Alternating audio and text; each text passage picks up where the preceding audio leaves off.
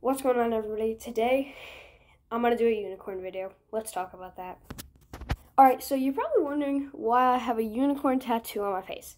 So basically, one of my friends did a dare with me, and I lost the bet. So basically, I have to film a video of me having a unicorn tattoo on and doing some unicorn stuff. So let's do it.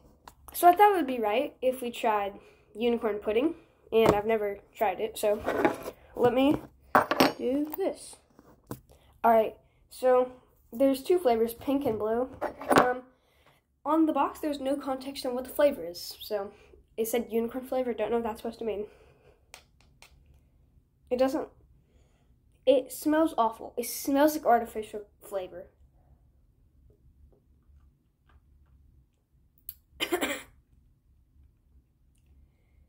it's not great.